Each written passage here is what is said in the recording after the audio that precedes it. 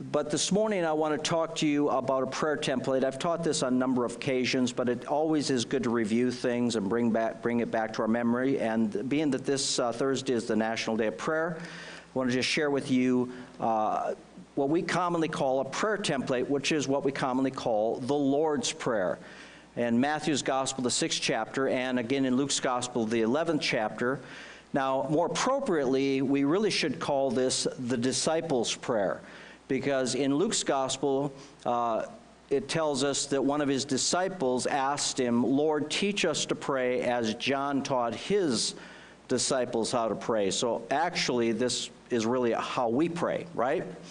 And so in the Gospel of Matthew, Jesus is talking about seeking first the kingdom of God and so forth, and he brings this in. And let's look at verse uh, 9. It says, In this manner, or like this, Therefore, pray, Our Father in heaven, hallowed be your name, your kingdom come, your will be done, on earth as it is in heaven. Give us this day our daily bread, and forgive us our debts, as we forgive our debtors. And do not lead us into temptation, but deliver us from the evil one. For yours is the kingdom, and the power, and the glory forever. Amen. So, Jesus here is he's not giving us a prayer, although I don't think it's unscriptural to pray this prayer. But um, it's, it's not actually, well, this is how you just pray this prayer as a prayer. And again, I don't think it's wrong to pray that prayer. I grew up in a church where we prayed this prayer every single Sunday. And um, again, I don't think that's bad, but this, is, this prayer was much broader than that, that aspect of this prayer. And um, so let's look at this because I believe that what Jesus was giving us here is a template for prayer. So, in other words, he's saying, along these lines, this is kind of the format to follow when you pray. Um, you know, there's a lot of things in the New Testament, in the early church, uh, that they're not necessarily biblical commandments. They're not like, Thus saith the Lord, these are the rules like the Ten Commandments. They were more, these are the format for following. For instance, Dan and I were talking about, uh, you know, 1 Corinthians chapter 12, 13, and 14, where it talks about corporate worship and the gifts of the Holy Spirit and the manifestation of the Holy Spirit. Paul was not in 1, 1 Corinthians 12 through 14 giving us a, a step one, step two, step three. He was given the church at Corinth a format for order. But he wasn't saying, if you don't follow this order, you're sinning against God.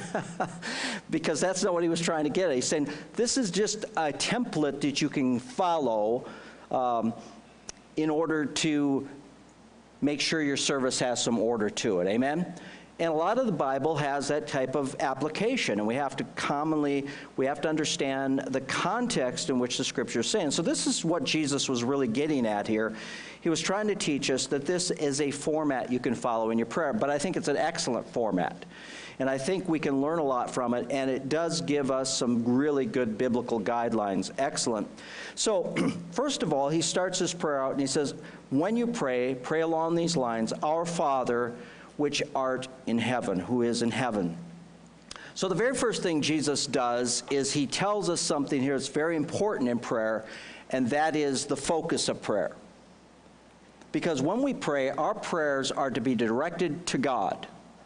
You know, I've been in a lot of prayer meetings over the years and listened to people pray because when you're praying with other people, you're not just praying to God yourself, you're also praying with other people.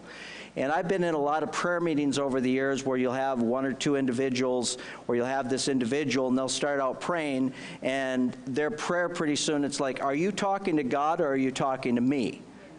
You know, and they'll start preaching this preaching prayer like we need to and you need to and blah, blah, blah. Well, our prayer is not to us, our prayer is to God here. So we have to keep that right. So when we pray, we want to get our eyes on heaven because it's from heaven from whence cometh our help.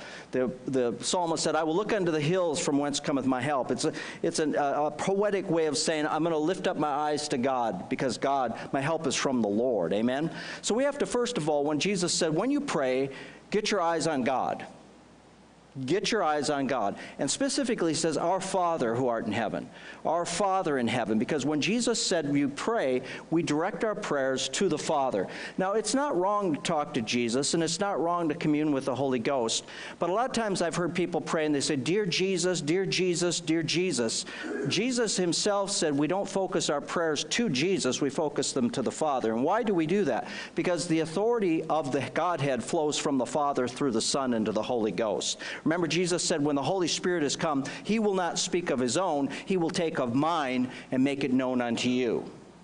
When you talk about the Holy Ghost, the Holy Spirit is always going to point you to Jesus. So we always have to be careful of people that are going, well, this is the things of the Holy Spirit, but yet it always ends up not pointing us back to Jesus. If it doesn't point you back to Jesus, you need to really uh, step back and say, wait, is this God? Right? Because the head is Christ. And Paul said to the church at Colossae, Colossians, he said to the Colossian Christians, he said, some departing from the faith, they don't hold to the head who is Christ, but they try to corrupt you through vain philosophy and, uh, and things, and the, the exaltation of angels. So we always have to be careful of, of teachings and doctrines that try to build camps around things other than Jesus. That's a good point in case you didn't get that. So, amen could go right there. Amen. Praise God. So, we always have to keep Jesus as the head. So, when we pray, Jesus said, when you pray, pray along these lines Our Father in heaven. So, get your eyes on God. We got to keep our eyes on God. Sometimes we can, no, you know, prayer comes in lots of shapes and forms. Um, we don't want to turn prayer into a formula. Because when you turn prayer into a formula, uh, when it's just kind of a formula, then it becomes lifeless.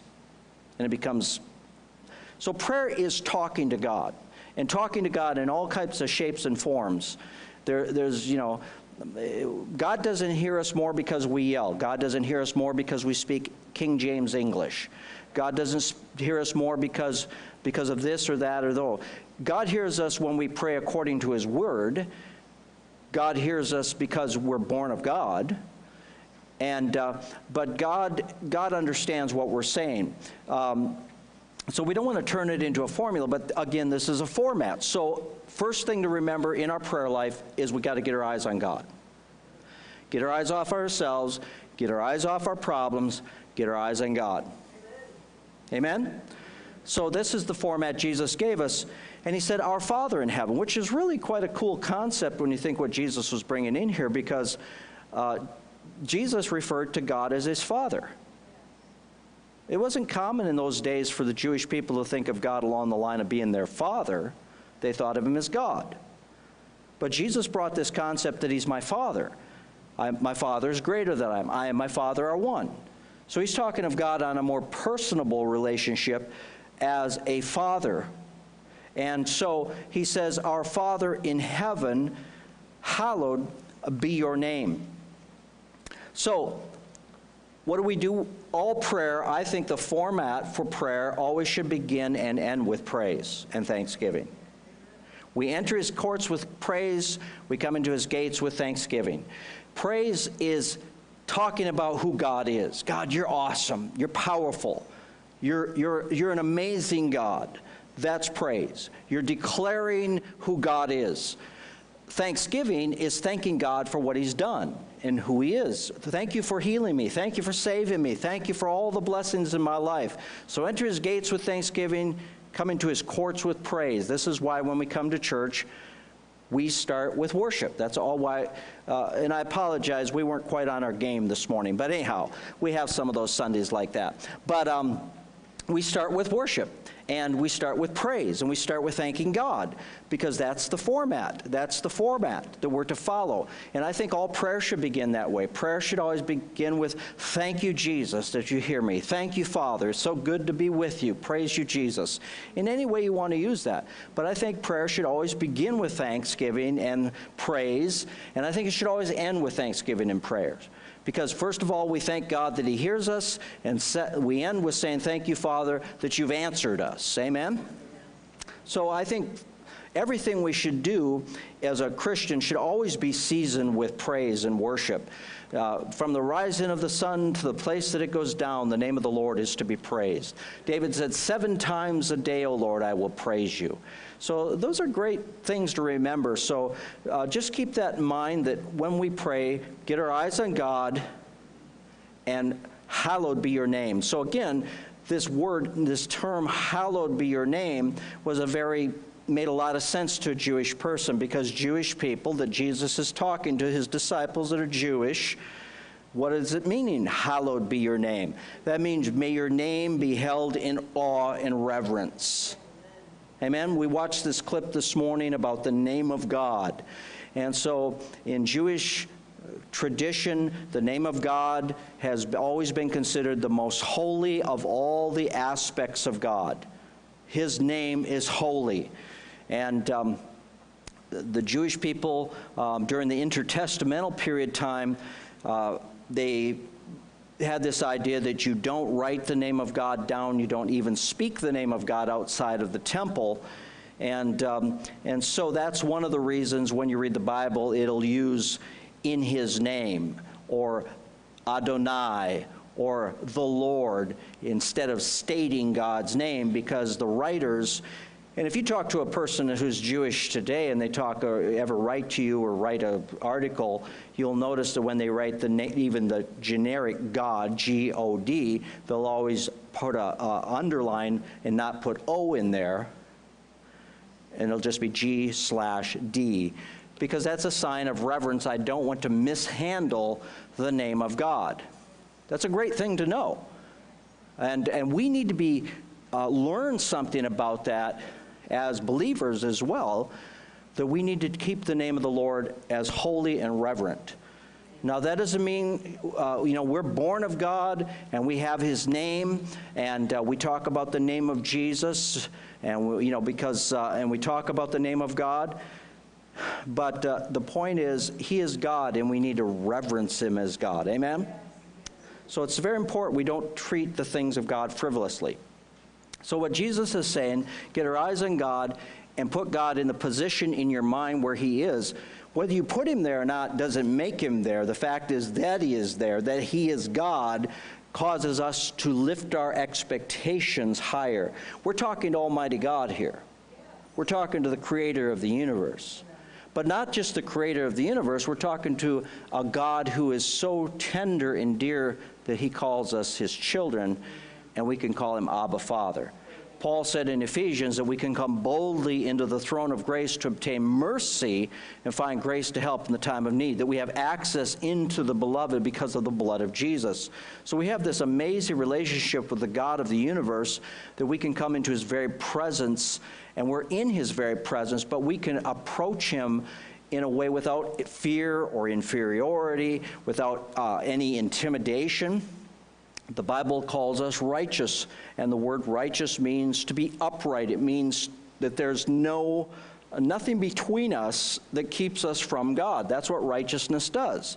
We could say that righteousness is the ability to stand before God without guilt, inferiority, or condemnation. There is therefore now no condemnation of those who are in Christ Jesus. Isn't that good news? That God has made a living way through the veil of the flesh of Christ so that all believers who are born of God can come right into his throne room without fear, just as Jesus said, Whatever I pray to the Father, whatever I ask my Father, he hears me. And I know he, because he hears me, he will do what I ask. And he said the same thing to us. He said, When you pray, in that day you will ask me nothing, but whatever you ask my Father in my name, or as if I were asking it, is what he's literally meaning, as if you had the power of eternity, eternity uh, as if you were standing there, as if you were me, you can ask the Father. That's what that means. So sometimes Christians think that when we say in the name of Jesus, um, that it's the period at the end of the sentence. And that's kind of how traditionally we've used the name of Jesus. Well, in the name of Jesus, bonk.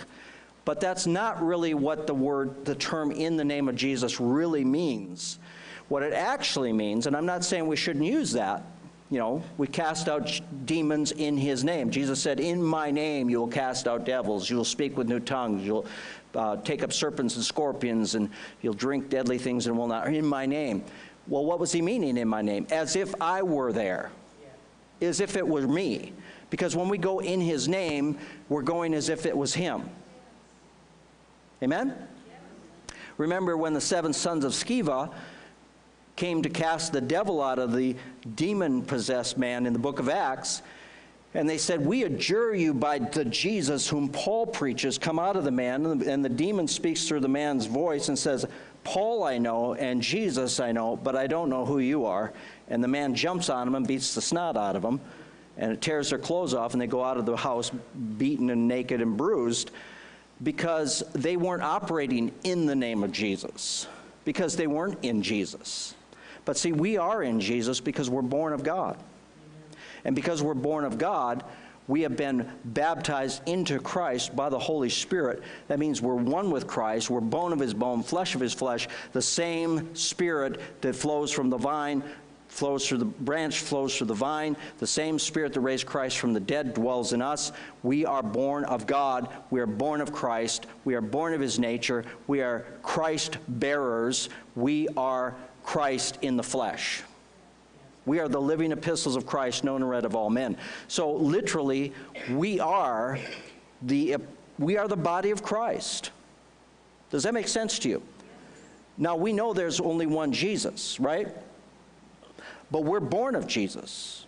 We're the, have the Spirit of Jesus, and we're um, called sons of the living God, just as Jesus is called sons of the living God.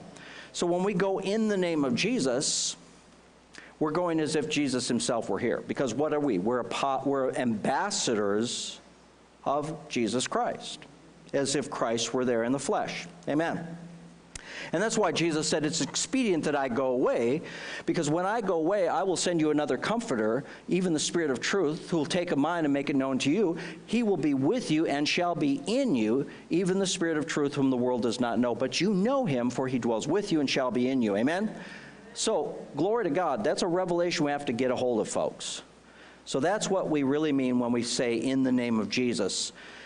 And so, when we come to cast out devils in the name of Jesus, yes, we can speak in the name of Jesus, come out of them in the name of Jesus, do this. That, that is fine. But we have to recognize that I don't necessarily have to say in the name of Jesus. I can just say, come out of them because I am Jesus coming to you. I come in his authority. See, I can't cast out devils in my authority, but I can say, Come out of them, because the authority of Jesus Christ in me gives me the power to cast you out. Amen? Amen. You notice that when Jesus cast out devils, he didn't say, I come to you and I adjure you in the name of the Father, did he? Because he said, The works in the Father in me does the work. Well, we could say the same thing. Christ in me does the work. Greater is he that's in me than he that's in the world, right? Amen. So again, I'm not saying it's wrong to say in the name of Jesus. Not saying that.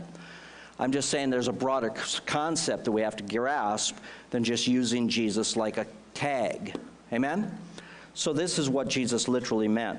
So he says, Our Father in heaven, hallowed be your name, your kingdom come, your will be done. Amen? As in earth as it is in heaven. So praise be to God. Our Father in heaven, hallowed be your name, your kingdom come, because this is really the objective of prayer. So we come into the presence of God with thanksgiving, we enter his courts with praise, we get our eyes on God, we're talking to the Father, we're addressing our prayers to heaven, and then what's the objective of our praying? We're not just talking for the sake of talking. Our objective is to bring heaven into earth. Thy kingdom come. Now, when he says, Thy kingdom come, thy will be done on earth as it is in heaven, what he's literally meaning is the kingdom of God influencing and saturating and filling earth. Remember, Jesus said, The kingdom of God is within you. So we're talking about a king of a kingdom, and the objective of that kingdom or that king, Jesus, is to bring his kingdom to bear on this earth. So think of it as if you were a king or a soldier in an army of a king from another country, and you were sent to this other country to bring about a battle, in other words, to do battle and overthrow the armies and the government of that country. That's kind of what we're talking about here. Because we're, Jesus said, My kingdom is not of this world. If it were of this world, my disciples would fight for me. They would fight to see me free. But he said, My kingdom is not of this world. So we're talking about a spiritual kingdom, the kingdom of God, invading and influencing and changing the natural kingdom. Now, I want to be very careful when I'm talking about this because I'm not talking about what's called kingdom now theology or dominion theology. And, and, and let me verify what I'm talking about when I talk about dominion theology. We understand that we do have dominion, we do have authority, right? Jesus said, All authority in heaven and earth has been given unto me. Go therefore make disciples of all nations. We are to disciple nations. We are to see the kingdoms of this world become the kingdoms of our God and of his Christ. But that's not what dominion theology or dominion now theology teaches. Uh, dominion theology is a form of preterism, which believes that there is no such thing as a millennial reign of Jesus Christ, and there is no such thing as God using the nation of Israel, that it believes in what's called replacement theology, that now the church is Israel, and the nation of Israel is really illegitimate. Um, and what dominion theology predominantly teaches is that the believers will basically become more and more influential and powerful, and they will basically take over the whole world, and then they will usher in the kingdom of God by taking over the whole world. But that's not what the Bible teaches. The Bible does not teach that we are going to become more powerful and take over the world and usher the kingdom of God in by taking over the world. Now, does that mean we should not try to bring God's kingdom to bear in our world? No, because our founding fathers certainly understood the concept of establishing this nation upon biblical principles, right? Should we just, and this is the problem that hap, has happened to the church in America since the 1930s and on, is the church, instead of being the light of the world and the city on a hill and engaging the culture and bringing the weight of the gospel and bringing the weight of the kingdom of God to bear on the culture, has removed itself from the culture and abandoned the culture and allowed the culture to rule the world. That's why we have all these secularists in our nation running our government. You have people with this notion that, well, you should keep your religion out of politics because, you know, there's a separation of church and state. Don't you know that? So, in other words, what they're really saying is the only people that should be running our government and institutions and making law are secularists or people that don't believe or have any reverence of God. Is that really what God wants? Obviously not. What he wants is his people to be in positions of authority and influence places. I mean, if God's people aren't in government, if God's people aren't in positions where they can affect policy and affect what happens, then what happens? ungodly people. That's why we're seeing the mess we've got going on in our nation today. This is why we've got ungodliness at every head, because God's people have not done what they should be doing. We're not even voting for people that we should be voting for. Amen? That's, and so in the respect we need to we need to bring God's kingdom to weight. Our, our Christian faith, our biblical worldview should affect everything we do. It should affect who we vote for. It should affect our positions on every issue. Every single political issue, every single piece of legislation, every single policy the government establishes has a moral ramification. Well, is that not how God, should God say, well, you know, God really doesn't care about those things. He's only concerned about heaven. Of course not, because those moral ramifications affect people's lives in bad ways. So everything has a moral ramification. So everything we should have a biblical opinion about. So when people tell me, well, you're too political, no, I'm heavenly minded. I'm kingdom minded. And my biblical worldview affects how I live my life and how I look at things. So don't just look at, well, you know, uh, you shouldn't follow that archaic book that was written all these years ago. We're living in a new world. Yeah, a pagan world. And that paganism doesn't work. Look around you, it does not work. Look at the nations that have abandoned God. Look at Hindu nations. Look at Islamic nations. Look at the other nations. How's that working out for you? Not very well. Amen? So, uh, so that's how we should be living our lives. We should be trying to influence people. We should have Christians that are rise, raising up and running for public office or getting on school boards, who are, who are getting on township boards and running them from a biblical moral view where we have godly ethics. One of the reasons we have a lot of corruption in our government today is because there's not enough of God's people influencing the climate and holding people to accountability. Amen. So, you know, again, and I hate to even have, we should not even have to say this. We should not even have to say this, but the fact is, you have to say it because people have been brainwashed into non biblical beliefs. So, so um, you know, I'll hear people say stuff like, well, don't mix religion and politics.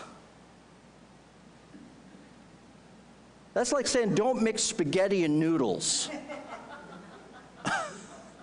you don't, you can't, if you don't have God's influence in your political system, then you have nothing but paganism.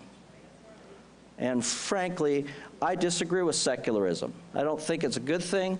Uh, it's, and I could go on and on and on about that. But I think you get the point. Amen. Hate to have to even talk about that as much as I do, but I wanted to drive that point home. So, hallowed be your name, your kingdom come, your will be done on earth as it is in heaven. So, again, uh, we need to make a distinction between what's called dominion theology and God's kingdom coming. We want God's kingdom to come, and we want to influence the culture as much as we can. But no matter how much we influence the culture, we're never going to turn the world into heaven on earth. We might have seasons of heaven on earth. We might have nations that we can turn back to God. But if you look throughout history, every person that has ever tried to build like a city to God, it's always failed. It's always crashed and burned. Now, does that mean we shouldn't, we can't have places where we can, you know, try to uphold godly principles and so on and so forth? Yeah, I think we should. But we're living in a fallen world we wouldn't be in this condition right now if it wasn't for the fact the world is fallen. Amen? And all it takes is a few generations, one generation to fall away from God, and the next generation comes along and they're pagans. Israel proved that. I mean, they had the cloud by day and the fire by night, and they had the presence of God in their camp, and they still couldn't keep it. And the next generation came along, and they fell away from God. So we're not talking again about what we commonly call dominion theology. We're talking about taking dominion and trying to influence the world. So, thy kingdom come, thy will be done. Because what are we praying for? If we, if we don't want the kingdom of God influencing earth, then we might as well not pray, right? Because when I'm praying for our leaders, what do I want? I want our leaders to do things that are godly. What did Paul say? He said, First of all, I urge that prayers and supplications and giving of thanks be made for all men, for kings and those in authority, that we might, we might lead a quiet and peaceable life, for God would have all men to be saved and come to the knowledge of the truth. What's he talking about there? Well, he, we pray for our leaders so our leaders don't make wicked laws. We want, yeah, we don't want leaders who oppose what we're trying to do because that's a problem. We've had leaders in this nation. We have leaders right now in some of the areas of our nation. We have judges that are wicked and oppose the kingdom of God. I mean, we wouldn't look at this situation with this a Christian baker out, Jack, uh, what's his name, out in Colorado, who's had to go to court twice to defend his faith because somebody wanted to target his Christian faith and attack him for standing for his biblical values. That stuff happens all the time. Look at the kids that are constantly getting kicked out of public, edu- public schools just because they bring their Bible to school, just because they wear a Christian t shirt, just because they want to express their faith. In a uh, schoolroom. And, and people have this notion well, you don't bring your religion into our schoolroom. These are no religion zones, unless you're a Muslim, then you can come in. Uh, or if you're Hindu. So really the only issue is Christianity. Um, and that's the only ones, uh, you know, uh, that, that are attacked. Uh, but that's just nonsense. And if we just put up with that stuff, we'll be bulldozed into the ground. You know, this is, this is one of my pet peeves, and I talk about this, one of my pet peeves with modern day preachers in America is they think they're going to soft sell this culture into the kingdom of God. Well, we don't want to be too strong about how we preach about these things. We don't want to take any stand because that's separating. That's going to make people mad. It's going to offend people, and they're not going to come to our church. I don't want you coming to my church anyhow if you're going to be a doughhead.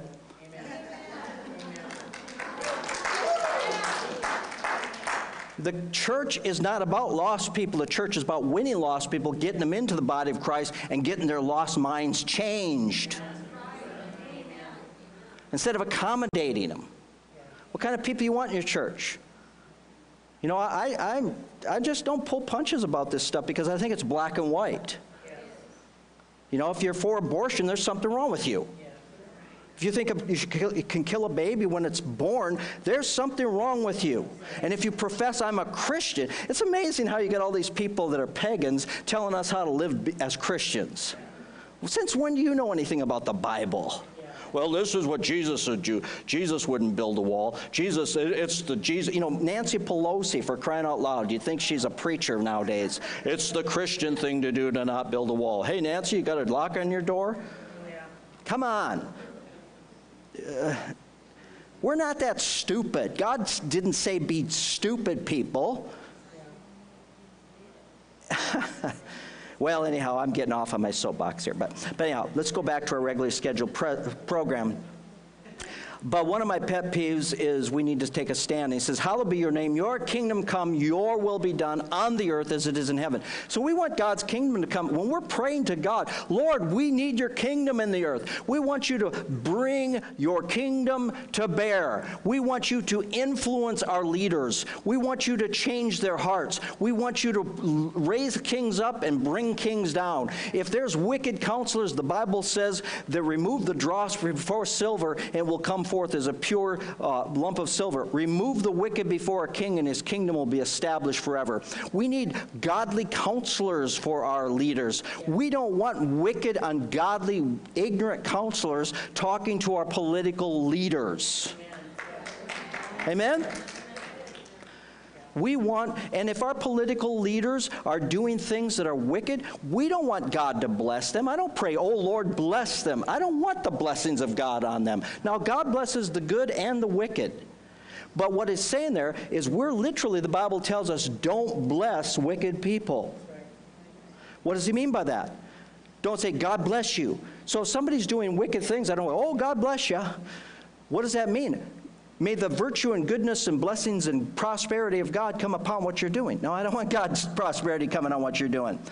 I want God to be merciful to you. I don't want God to judge you, but I certainly don't want God to bless what you're doing. Amen? So what do we want? What do we pray when we're praying for the wicked? We pray, Lord, we pray that you would turn their hearts away from wickedness. We pray you'd bring, you'd, uh, the king's heart is in the hand of the Lord, and as the water works, he turns it wherever he would. So, Lord, we pray that you turn the king's heart. You'd confound the counsel of the ungodly. Amen? I want confusion in the camp of the wicked. I don't want the wicked prospering. I want the wicked to be confused and confounded. You know, if they're, if they're scheming wicked plans to come against the kingdom of God and come against the Lord Jesus Christ, if they're enemies of the cross of Christ, I don't want God's judgment on them, but I sure don't want, I don't want them to prosper in what they're doing. I want God to confound and confuse them and bring their, their plans to naught.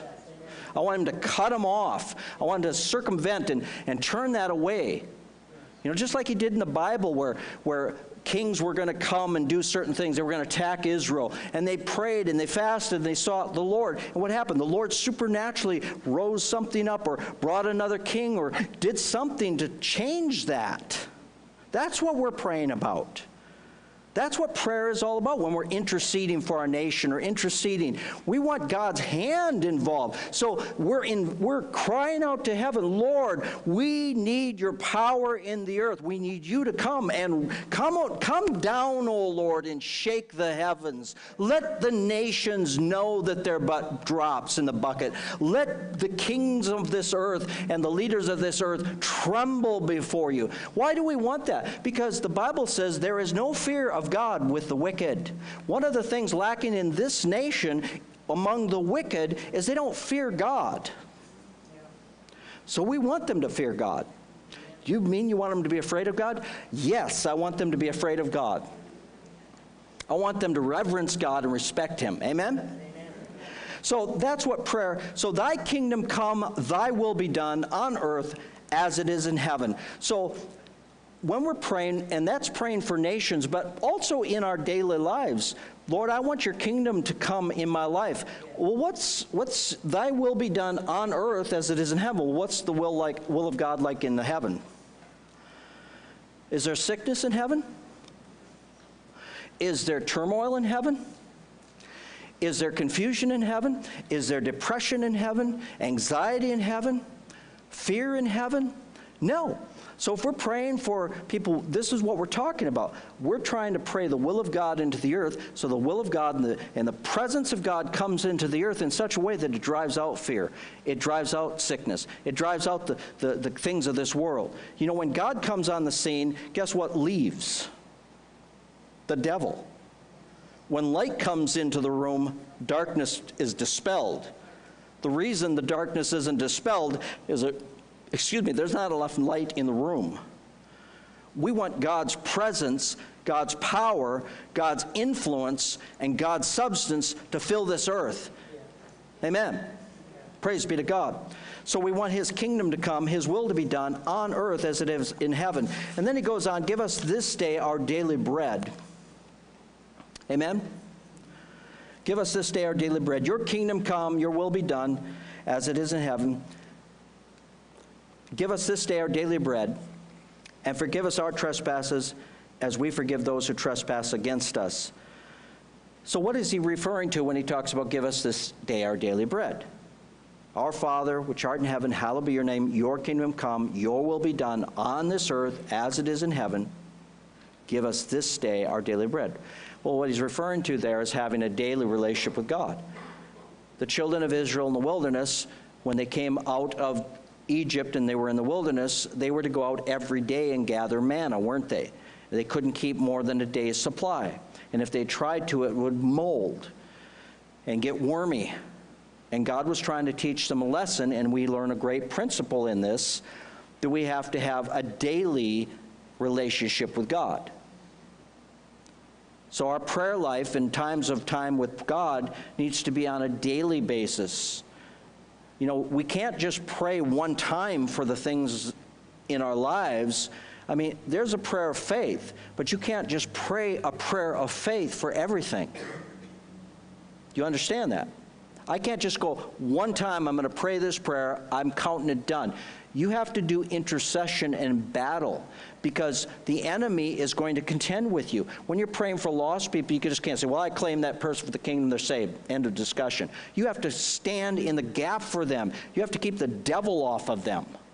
You have to pray, and that's why it doesn't work. You just pray one time for the nation because we're in a kingdom fight here, guys. We're in a battle. And just because you, matter of fact, when you pray, it stirs up demonic weaponry and the angels go into battle. The Bible says the angel of the Lord hearkeneth to the voice of the Lord to perform it. They are ministering spirits sent forth to minister for those who are heirs of salvation. So when we pray to the Lord in accordance with the word of God, the angels of God hearken to that and go into operation to bring it about. The Spirit of the Lord hearkens to it and brings it, begins to bring it about. And so the devil will stir up opposition against that. We find that with Daniel in the book of Daniel, chapter 10, where he sought the Lord for 21 days to find out what would happen to the nation of Israel in the latter days. And it says that the angel Gabriel finally came to him after 21 days and said, When you first prayed, you hear, church? When you first prayed, your answer was on its way. Yes. Why did it take 21 days to get there then? So, this is the issue, you know, with us. Many times we pray, we step out in faith, and it doesn't just poof, instantly come about. Why? Because there's opposition in the heavenlies. You know, the devil hears you when you pray too. That's why praying in tongues is a good thing. But the enemy knows what you're trying to do, and so the enemy will, will launch counterattacks to try to cut it off. He'll send opposition against you. And this is why many times when we're praying, we can see things can even get worse because we're in a battle. You know, just like World War II, Vietnam, wars we fought in the past, you know, just because we launched soldiers into the enemy's territory didn't mean they just ran for the hills. They counterattack, right? So we have to fight the fight of faith and stand firm, having done all to stand, stand therefore. So we're praying that our king, His kingdom come, Thy will be done on earth as it is in heaven. Give us this day our daily bread. So we need daily manna from heaven. We need daily sustenance with the Lord. We need daily prayer. We need daily time with God. We need to feed on the presence of God daily. It's not just a one-time prayer. Well, we threw up a prayer last Friday night. That ought to take care of it. I wish it was so simple. Man, we'd had a revival a long time ago if that were the case. But we got to continue to pray and stand and fight and intercede and lift up nations and kings and authorities and our lost loved ones and those who are being affected and afflicted and, and hammered by the devil. Amen? So we stand in faith. I believe that God will give us prayer projects things he specifically wants you to pray about. You know, like we're going to Tanzania in May, at the end of uh, August. We, we covet your prayers. Pray for our safety. You know, the devil knows we're going to Tanzania. He's not that stupid. He knows we're going to Tanzania. We need God to go before us, God to go behind us, God before us, God behind us, God around us, God upon us. We need His protection. We need His power so that when we go there, we're, we're, representatives of God. And when we leave there, the devil doesn't come and snatch away the seed that's been sown in their hearts. And when we come back here, you guys aren't beat to pieces because He attacks you. Because He will attack. He's a roaring lion walking about seeking whom He may devour. You know, this is the issue with Christians. We think, well, you know, look what God did over here. Just wait. Just wait. Oh, everything's kind. Blue sky. Blue skies for a few months until you let your guard down. And the devil send a bulldozer right into your house, man. Oh, Pastor Tim, you're being, you know, you're, you're just being sensational. No, I'm being real. The devil is a real adversary. And we have authority over him and his kingdom, but we must not be so naive as to take him lightly and ignore him or treat him frivolously. I mean, you can look all around you and see the carnage the devil's reaping, right? Was that the devil? Well, it's the devil's kids.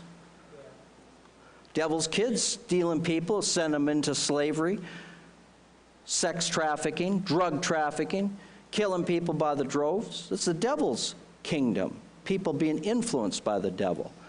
Well, how are they going to get free from the devil? Prayer, standing before God for them, crying out to the Lord on their behalf. Amen? And asking God that He'd bring a revival and pour out His Spirit upon His church to awaken the body of Christ. Amen? So again, our prayer should always begin. They should end with praise and thanksgiving. Our, thy kingdom come, thy will be done. Give us this day our daily bread. We need daily time with God. And forgive us our trespasses. In other words, we need God's forgiveness and mercy, don't we? As we forgive others. And why did Jesus throw that in there? Because there's another instances, another incident where Jesus threw that in, and that's in Mark's Gospel, the 11th chapter.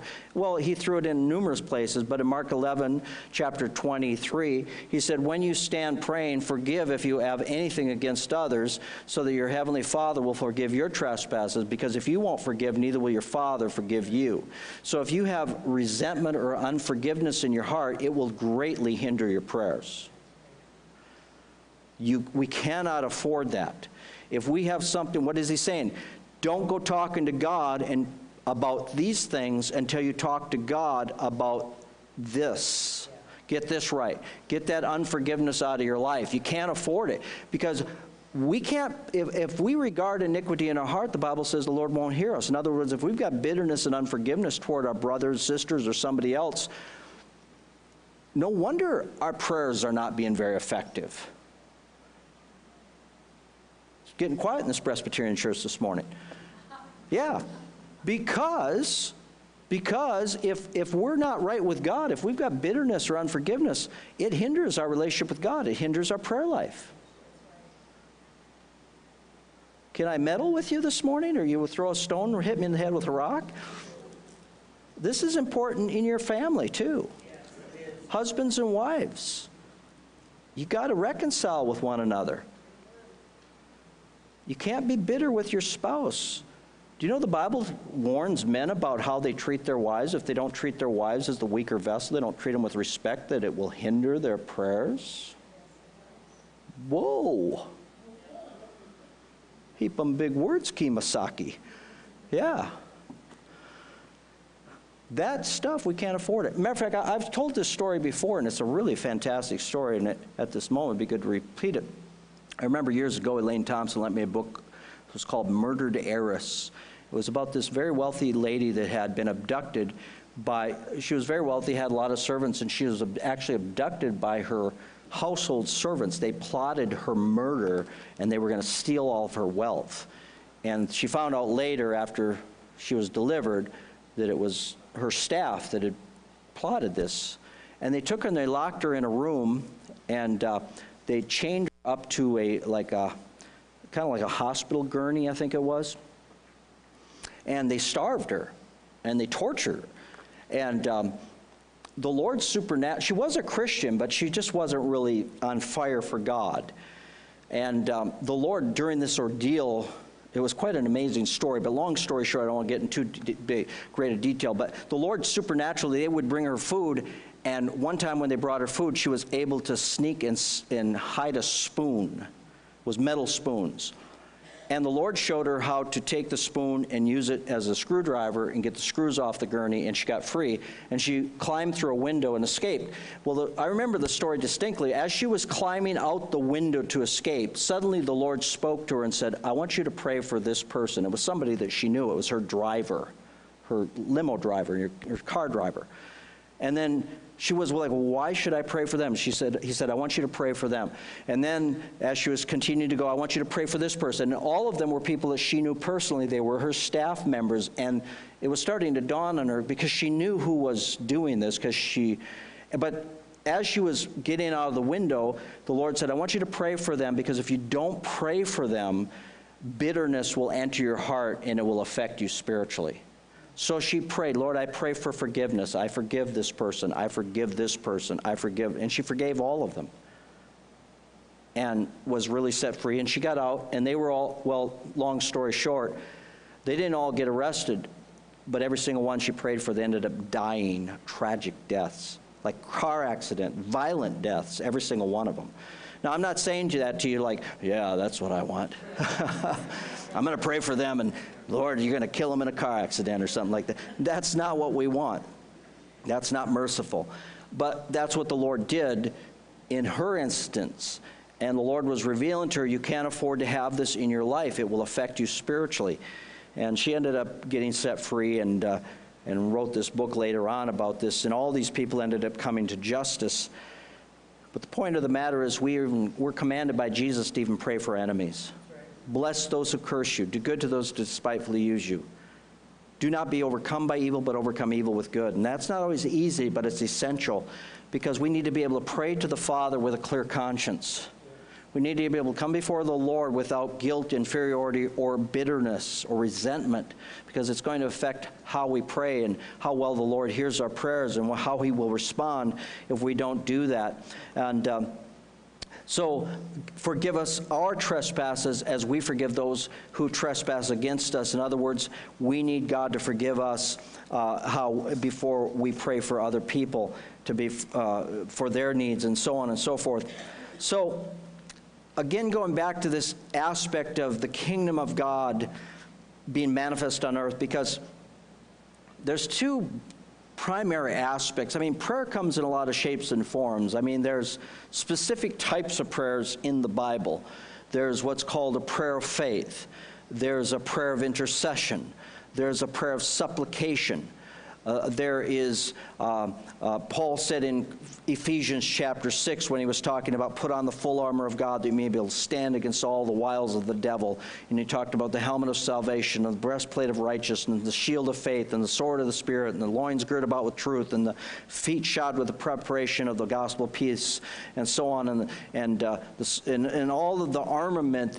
And then he ends that whole section of Ephesians 6 by uh, praying always with all prayers and supplications. One translation says, pray at all times in every manner with every sort of prayer. So, in other words, there's different kinds of prayer. Sometimes people think that prayer is just, my name is Timmy, I'll take all you give me. that they think prayer is just asking God for things. Thanksgiving, worship is prayer. So when we come and we worship God, and you don't have to have a band, you don't necessarily have to have worship music on to worship God. Just get in the habit of worshiping God. Get in the habit of when things go bad in your life to say, well, praise be to God, or thank you, Jesus. Get in the habit of, of something happening, go, thank you, Lord. Hallelujah. You know, a deer going to run out and smash your car. Oh, dear. It, oh, my gosh, that deer's going to hit my car. No, just say, Jesus. You know, get in the habit, making your mouth get in the habit of thanking God. Changing your vocabulary so it's filled with thanksgiving. Driving down the road, thank you, Jesus, for this day. Thank you, Lord. So, so praise becomes a natural thing. A thanksgiving becomes, well, that's not really praising God. I'm just saying words. Get in the habit. You know, if you practice it, your body and your mind will follow. Just make it a habit. So get in the habit of thanksgiving and praise and, and letting praise fill you. You know, we live in a wonderful world where you have bukus of, you know, you got worship music on your phone, you got CD players, you got everywhere you go, you can put worship music on, but you don't have to have that. Uh, it's good. I think it's good. Put, put worship music on in your house, put worship music on in your car. Uh, but you don't have to have that to worship the Lord. You don't have to wait. Well, I wish I was here on Sunday morning so I could come and worship the Lord and get free. You can get free right now and worship. Amen? Now, you know, I mean, it's great to come together in corporate worship and do worship, uh, come together as a group and worship God, but you don't have to do that, nor should you, you should practice that throughout the week.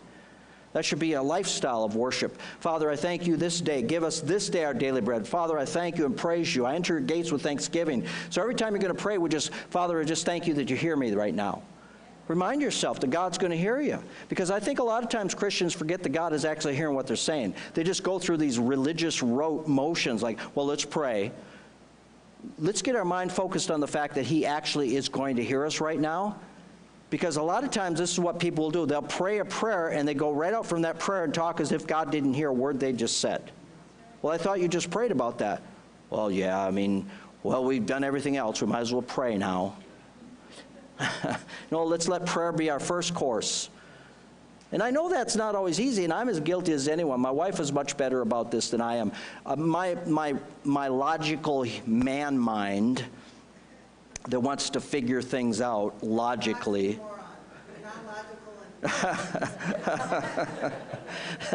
Are you saying men aren't logical? I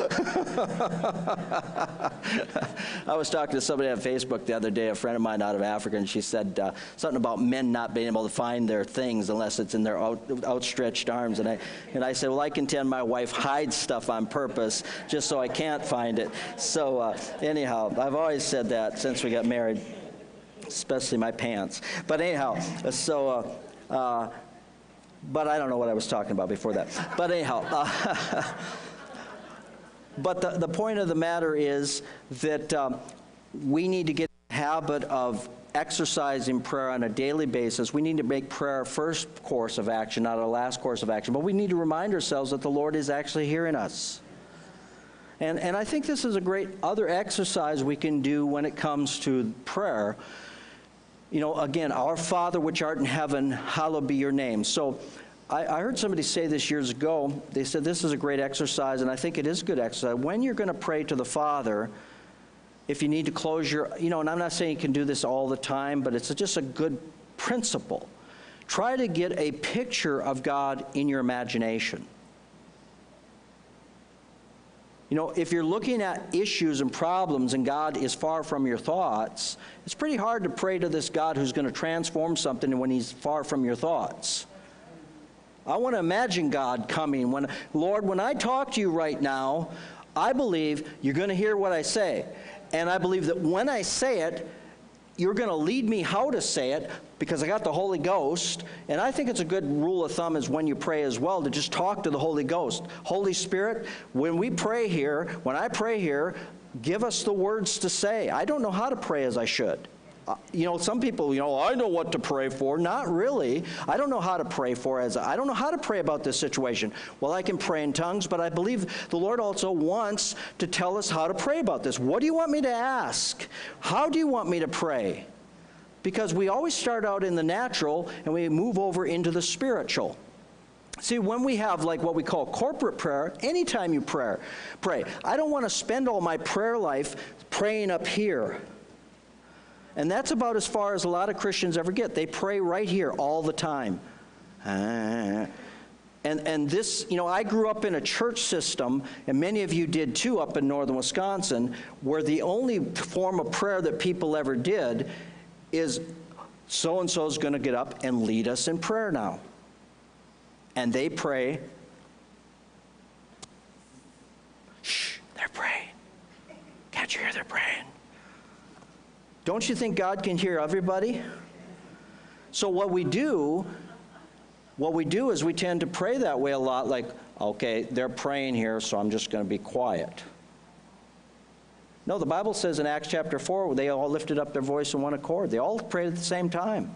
Every single one, they all lifted up their voice in one accord and prayed. That's called unified prayer, corporate prayer. If I'm praying in a corporate prayer meeting, that means I'm praying with a bunch of people. It's like if I was going to move this if I was going to move one of these speakers over here or some piano or something, you know, we got a big piano next door, and I've moved a lot of pianos with my piano playing wife over there. You know, if I've got four people and we're going to move a piano, I need you to take hold of one corner of the piano. I'm going to take a hold of a corner of the piano. We're all going to take hold of the piano, and we're all going to lift the piano together. If I'm the only one lifting the piano, we're not going very far. So you get the point. Sometimes when people pray, the only one lifting the piano is the one praying. And they're like, well, I wish they'd stop praying. I don't know what I'm doing here. I need you to lift with me here. I need you to take hold of God with me. One can put a thousand to flight, two can put 10,000 to flight. Let's take hold of God together. Let's lift our voices up to God together. Let's work together. Let's battle together. Let's pray in unity together because together we can do more than we can do alone. And if we can get more together, praying together in unity, it creates greater power. That is the challenge when you come together in corporate prayer, is to get people to pray and flow together. Amen. Well, there's a lot in this, and we're going to wrap it up this morning. But Father, we thank you today that as we pray, you hear us. That when we lift up our voices, your ears are open to our cries. We thank you, Father, that you are a faithful Father and that when we pray, you do hear us. When we call unto you, you will answer us and show us great and marvelous things which we do not know. Father, it has not entered into the heart or the minds of men or people the things which God has prepared for those who love him, but you have revealed them to us by the Holy Spirit. Father, we rejoice in you this morning that as we cry unto you, as we pray, as we seek you, you will answer us. You will hear us you will send out your angels to do battle. You'll send forth your spirit into the realms of the earth. You will see the evil and see the good, and you will bring about your kingdom to bear on the things of this world. Lord, there's nothing you cannot see, and there's nothing you do not know, and there's nothing in this world that we're stirred up about that you're not stirred up about as well. But Father, we rejoice in you today. We praise you this morning that you put those things in our heart. You give us the desires of our heart. You stir up our hearts so that we will exercise the authority you've already given us and call out to you. Jesus, you said that you don't have because you don't ask. So, Lord, we pray that we would be people who are not afraid, intimidated, or negligent to ask you for great and marvelous things. Father, expand our horizons, expand our vision, expand our imagination. Father, expand the body of Christ's ideas and thoughts as to what could take place in this nation and in the world if we would simply believe and trust you and call upon you to do it. Father, help our unbelief. Forgive us for our lack of faith. Forgive us for our lack of vision. Forgive us for reducing you to a human level instead of rising and raising our eyes to you, the God who is well able to do exceedingly, abundantly, above all that we could ever ask or think or even imagine. You are well able to do it, Father. Forgive us for not believing that you can. Because if we really believed it, Father, we would be asking you to do it. So, Father, we pray for the body of Christ in this nation. We pray for your people all over this nation, all over this world, that you would raise up a great prayer army in this hour to do battle and stand in faith and call on heaven to come into the earth and change this nation. I want you to stand your feet right now, if you would, and let's just lift our voice this morning before we are dismissed. Let's lift our voice together, and I want you to cry out to the Lord just for a few minutes here together. I want you to just lift up your voice together as if God were hearing you this morning when you're praying, as if God were hearing you this morning. I just want you to lift up your voice to the Lord. I will call on the Lord, and he will answer me. I will cry unto, my, unto the Lord. Cry out to the Lord. Cry out to the Lord. Hallelujah. The heartfelt, fervent, effectual prayer of a righteous man, a righteous woman makes great power available, dynamic in its working. Father, we cry out to you this morning. We call upon you this morning. We lift up our voice in prayer this morning. Father, we thank you that you hear us when we cry this morning. Father, your ears are open to the prayers of the people of God. We thank you that we can come boldly into the throne of grace. We rejoice in you, Father, for your mercies which are new every morning. We thank you for your faithfulness and steadfast love. We thank you that your name is exalted in the heavens and in the earth. And Father, we worship and magnify you today. Great is the Lord and worthy of honor. Great is the Lord and worthy of praise. Lord, you are the God of all kings. You are above all kings. You are above all nations. Father, we want to extol you. We want to let you know how worthy you are. Father, none of the things of this earth, none of the men of this earth, none of the kings of this earth are anything as compared to you this morning. We rejoice in you, Father, that you're the one that sets kings up. You're the one that brings kings down. You're the one that establishes nations. You're the one that set the boundaries the ocean. You're the one that said, Let there be light, and there was light. You're the one that said, No further, and there was no further. Lord, you are the one. You are the great and mighty King. You made the heavens your glory and the, the earth your footstool, Father. We rejoice in you. We praise you. We exalt you. We exalt your name. We exalt your name. We praise your name. We praise your name. Hallelujah. Thank you, Father. Thank you, Father. Thank you, Father. Thank you, Father. Thank you, Jesus. I want to tell you something. When we talk about how big God is, our big God shows up. Amen? Amen? You look at the book of Acts in chapter 4 when Peter was arrested and says they lifted up their voices in one accord, and it actually tells us what they prayed. They said, Oh Lord, you hear what the people are saying. It's right out of Psalm 2. Why do the heathen rage and the nations imagine a vain thing? Why do the kings of the earth come and plot together against you and your holy Son? The Lord will have them in derision. The Lord it says, Kiss the Lord, kiss the Lord, so that he does not become angry with you and you perish from the earth. They lifted up their voice and they reminded God who he was. They bragged on God. They, pro- they proclaimed how big God was. And he said, Now, Lord, hear their threatenings and grant unto your servants so we might behold, we might stretch forth our hands to do great signs and wonders. The Lord shook the place where they were seated. Uh, uh, the angel of the Lord went and delivered Peter out of the king, out of jail and brought him to the very fence. It was such a supernatural thing that the little maiden girl, the young girl, comes out and finds Peter at the door, and she's astounded, doesn't even believe it's him. She goes back and tells them, Peter's at the door, and they go, oh, couldn't be Peter. Must be his angel. Isn't that awesome? You know, they're praying for God to do something, and God does it, and they don't even believe what he did. It's so awesome. So praise God. We're going to wrap it up this morning, but prayer, we just want to encourage you to call upon the Lord, seek the Lord, and let's lift up our voices to the Lord for the nation, for our families, for this area. We need a revival, folks. We need the power of God in America. We need a change in America. We need changes in our families, changes in our homes, changes uh, in this area. And only God can do it. Amen? That God would raise up men and women, raise up leaders, raise up people who would be his instruments in this hour. And to God be all the glory and all the praise forever and forever and forever. Amen. Amen. Amen. Glory to God. Well, Lord, we bless you. May the Lord bless you. May the Lord keep you. May the Lord be gracious unto you. May the Lord lift up his countenance upon you. May the Lord grant you his peace that passes all understanding.